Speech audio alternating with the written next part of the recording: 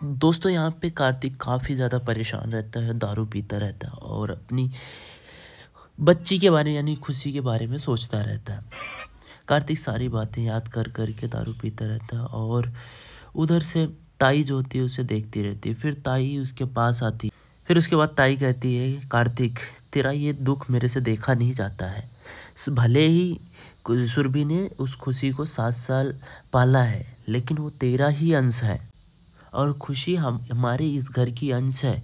और अभी चल हमारे साथ, मैं उस खुशी को वहाँ से लेके आती हूँ। और उसके बाद ताई कार्तिक का हाथ पकड़ के खींचने लग, ताई कहती है, कार्तिक, जब तू चुपचाप पैसे बैठ के सोचता है ना तो मुझे बहुत डर लगता है। तू कहीं और कुछ गलती ना कर बैठे।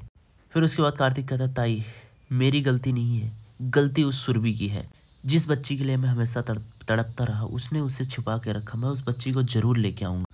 यहाँ पर सुरभि और ये बोलते हैं, कहते हैं कि हम दोनों दुनिया के सामने एक दूसरे को पति पत्नी दिखाएँगे। हम कौन सा कह रहे हैं कि हम शादी कर लें?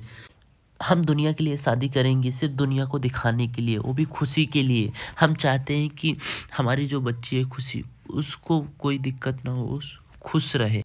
और फिर उसके बाद वादा करते हैं, कहते हैं कि मैं कभी भी तुम्हें इस रिश्ते को लेके कभी भी मैं आपको शर्मिंदा नहीं करूँगा। मैं जो भी कर रहा हूँ उस सिर्फ़ खुशी के लिए कर रहा हूँ। फिर उसके बाद सुरभि का हाथ पकड़ लेते हैं और फिर और इधर कार्तिक काफ़ी ज़्यादा गुस्सा रहता है कहता है कि मैं इतने दिनों से मैं अपनी बच्ची से दूर रहा। मैं उसे अब ज़रूर लेके आऊँगा और मैं अपने हाथों से उसे अपने प्यार दुलाल से नाजुक से मैं उसे पालूँगा। मैं ज़रूर जाऊँगा उसे लाने के लिए। और अब तिल तिल कर मरने की बारी सुरभि की है। और अब वो भी दर्द सहेगी अपनी बच्ची से दूर रहने का, मेरी तरह। और इधर कार्तिक खुशी की फ़ोटो देख देख कर काफ़ी ज़्यादा भावुक रहता है और रोता रहता है। और फिर वहाँ पे खुशी के पास जाने का प्लान करता है। खुशी यहाँ पर शुरभी के साथ सोती रहती है और सोते सोते जैसे यह थोड़ी देर होती है, अचानक से लाइट कट जाती है। जो कि लाइट कार्तिक ने ही काटा रहता है स्विच वहाँ से निकाल दिया रहता है।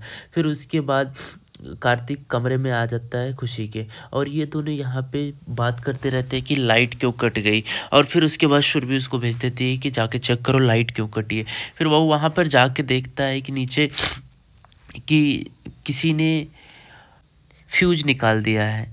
और फिर इधर सुरभि भगवान से प्रार्थना करती रहती है और कार्तिक यहाँ पर खुशी को देख देख कर रोता रहता है और फिर सोचता रहता है। फिर उसके बाद कार्तिक खुशी के पास चला जाता है और उसके बैठ कर मन ही मन बात करता रहता है। तब तक खुशी जग जाती है और फिर उसके बाद खुशी ज़ोर से चिल्लाती है और सब लोग खुशी के पास आ जाते हैं।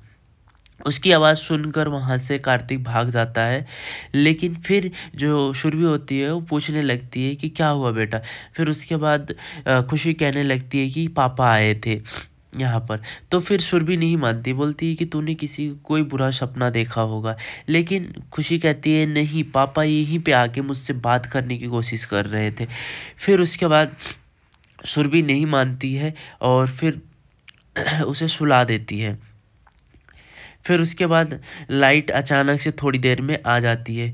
फिर उसके बाद जब जाके चेक करते हैं, ये कि नीचे जाके देखते हैं कि स्विच कोई लगा के चला जाता है तो फिर ये आके कहते हैं, सुरभि से कहते हैं कि लाइट कोई नहीं गई थी, किसी ने स्विच निकाला था और स्विच फिर से लगा दिया।